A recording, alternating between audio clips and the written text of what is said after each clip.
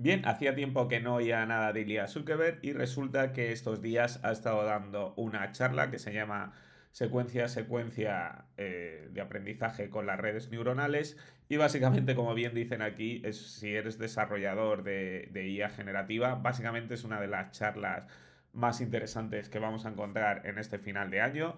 Vamos a ver por qué está aquí, ¿vale? La han subido a, a, YouTube, le voy a poner los subtítulos en español y vamos a escucharla porque dice cosas realmente buenas. I want to thank the organizers for choosing a paper for this award. It was very nice. And I also want to thank my incredible co-authors and collaborators, Oriel Vinyals and Kwok Lee, who stood right before you a moment ago. And what you have here is an image, a screenshot from a similar talk 10 years ago at NeurIPS in 2014 in Montreal. And it was a much more innocent time. Here we are shown in the photos. This is the before. Here's the after, by the way. And now we've got more experienced, hopefully wiser. But here I'd like to talk a little bit about the work itself and maybe a 10 year retrospective on it. Because a lot of the things in this work were correct, but some not so much. And we can review them and we can see what happened and how it gently flowed to where we are today. So let's begin by talking about what we did. And the way we'll do it is by showing slides from the same talk 10 years ago. But the summary of what we did is the following three bullet points. It's an autoregressive model trained on text, it's a large neural network, and it's a large data set. And that's it. Now let's dive in into the details a little bit more. So this was a slide 10 years ago. Not too bad. The deep learning hypothesis. And what we said here is that if you have a large neural network with 10 layers, then it can do anything that a human being can do in a fraction of a second. Like, why did we have this emphasis, emphasis on things that human beings can do in a fraction of a second? Why this thing specifically? Well, if you believe the deep learning dogma, so to say, that artificial neurons and biological neurons are similar, or at least not too different, and you believe that real neurons are slow, then anything that we can do quickly, by we, I mean human beings, I even mean just one human in the entire world. If there is one human in the entire world that can do some task in a fraction of a second, then a 10 layer neural network can do it too, right? It follows. You just take their connections and you embed them inside your neural net, the artificial one. So this was the motivation. Anything that a human being can do in a fraction of a second, a big 10 layer, 10 layer neural network can do too. We focused on 10 layer neural networks because this was the neural networks we knew how to train back in the day. If you could go beyond in your layers somehow, then you could do more. But back then, we could only do 10 layers, which is why we emphasized whatever human beings can do in a fraction of a second. A different slide from the talk, a slide which says our main idea. And you may be able to recognize two things, or at least one thing. You might be able to recognize that something autoregressive is going on here. What is it saying really? What does this slide really say?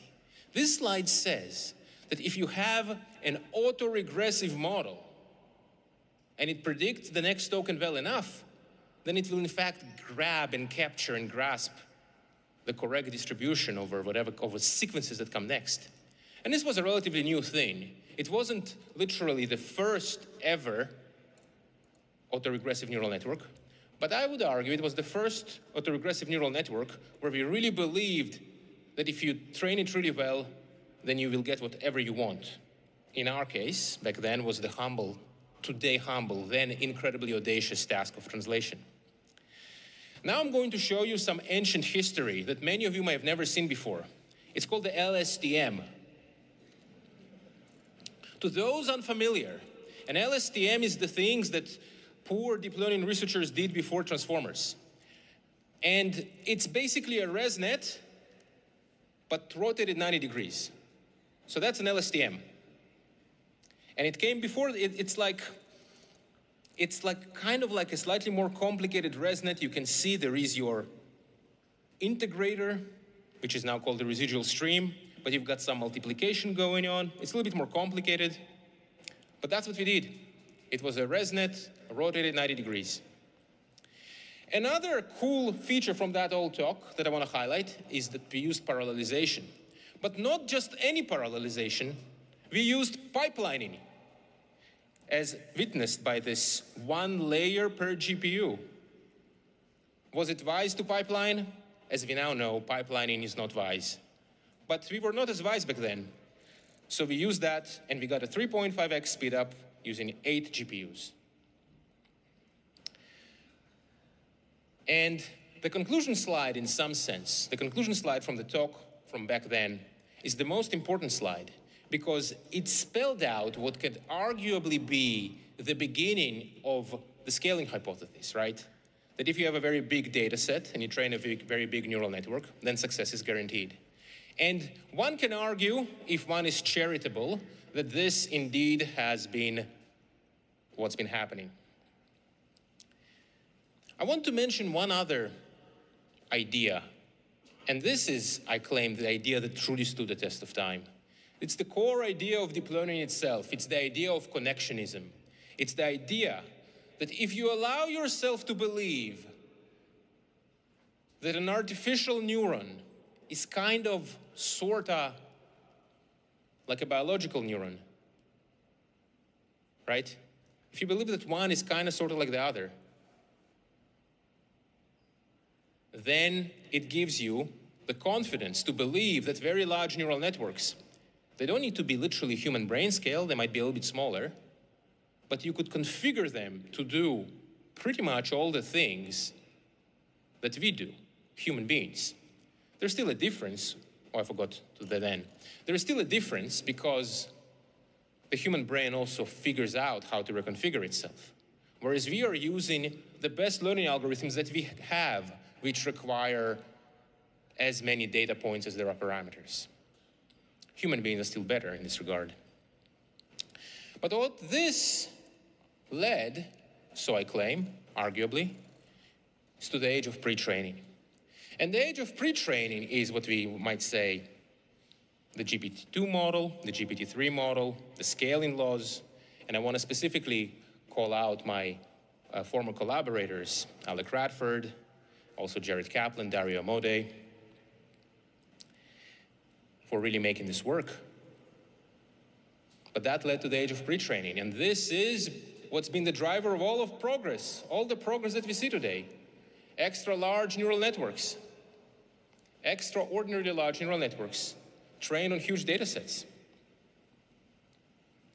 But pre-training as we know it will unquestionably end. Pre-training will end. Why will it end? Because while compute is growing through better hardware, better algorithms, and larger clusters, right? All those things keep increasing your compute. All these things keep increasing your compute. The data is not growing because we have but one internet. We have but one internet. You could even say, you can even go as far as to say that data is the fossil fuel of AI. It was like created somehow, and now we use it, and we've achieved peak data, and there'll be no more. We have to deal with the data that we have. Now, it's still, still let us go quite far, but this is, there's only one internet. So here, I'll take um, a bit of liberty to speculate about what comes next. Actually, I don't need to speculate because many people are speculating too, and I'll mention their speculations. You may have heard the phrase agents. It's common, and I'm sure that eventually something will happen, but people feel like something agents is the future. More concretely, but also a little bit vaguely, synthetic data. But what does synthetic data mean? Figuring this out is a big challenge. And I'm sure that different people have all kinds of interesting progress there. And an inference time compute, or maybe what's been most recently, most vividly seen in O1, the O1 model, these are all examples of things of people trying to figure out what to do after pre-training. And those are all very good things to do.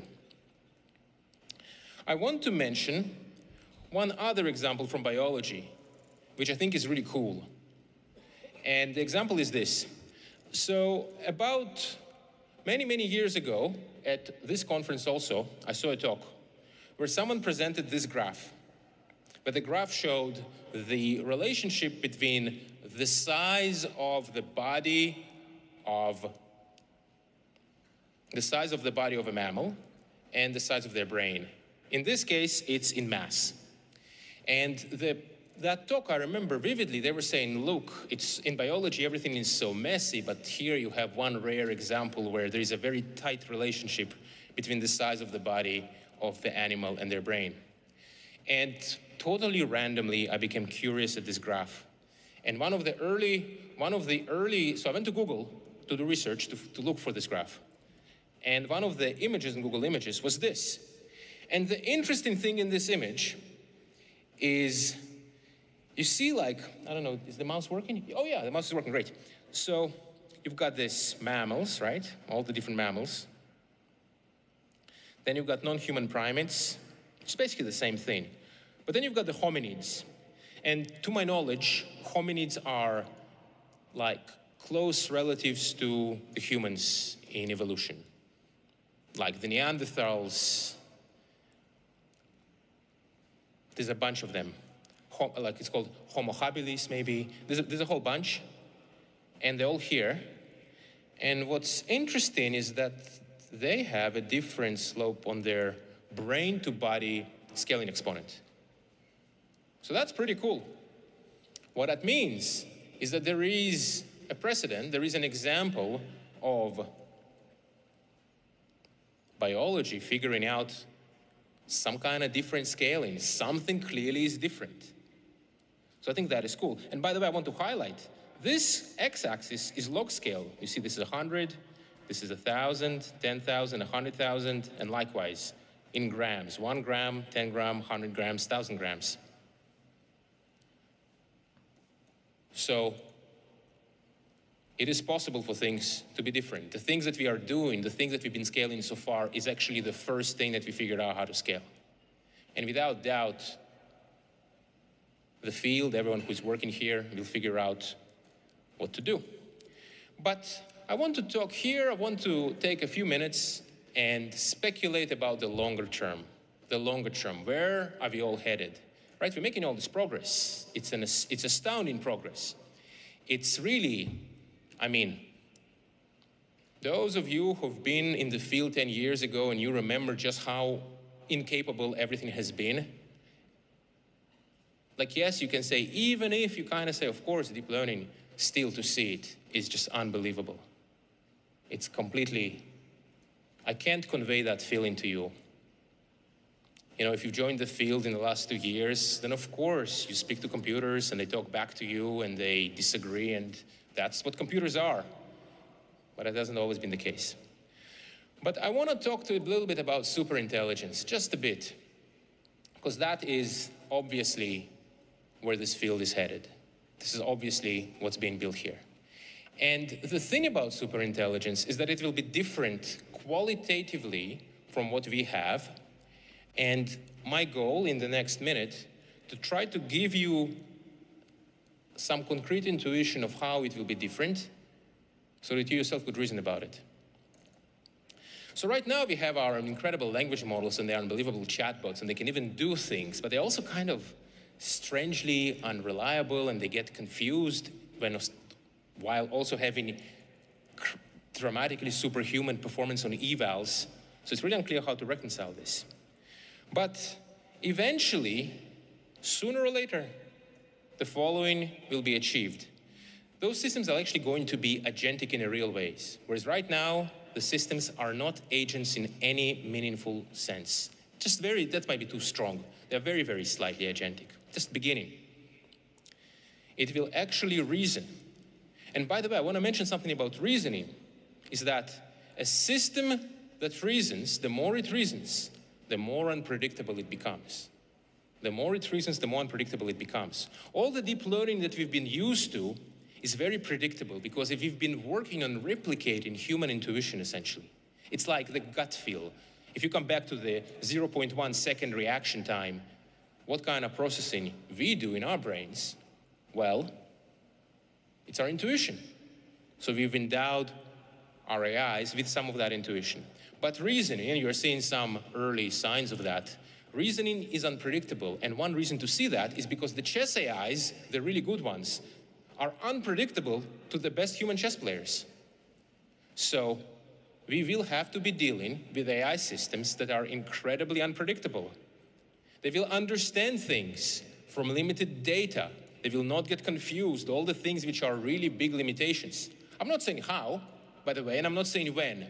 I'm saying that it will. And when all those things will happen together with self awareness, because why not? Self awareness is useful. It is part, you, ourselves are parts of our own world models. When all those things come together, we will have systems of radically different qualities and properties that exist today. And of course, they will have incredible and amazing capabilities. But the kind of issues that come up with systems like this, and I'll just leave it as an exercise to, to um, imagine,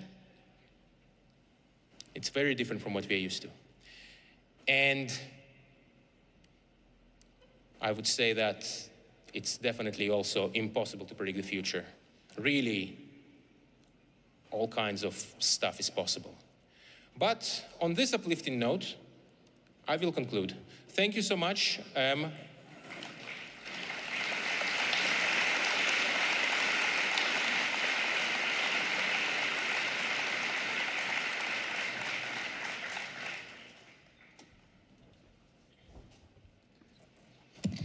Bien, aquí acaba el vídeo, os dejo el link más abajo si queréis verlo. Y como veis es una charla que está dando en, en diciembre, del 10 al 15. Me parece una de las charlas más interesantes para acabar el año, ya que todo el mundo está presentando, se cierra el año y todos están presentando nuevos proyectos. Una charla de este tipo pues viene bien, del pasado, el presente y del futuro de lo que nos espera en la IA generativa y bueno, recuerdo también, si queréis aprovechar, pues os dejo mis cursos de School abajo en el link por si le queréis echar un, un ojo, sobre todo si queréis programar con inteligencia artificial y ser más productivos. Y como siempre, darle like, suscribiros y nos vemos.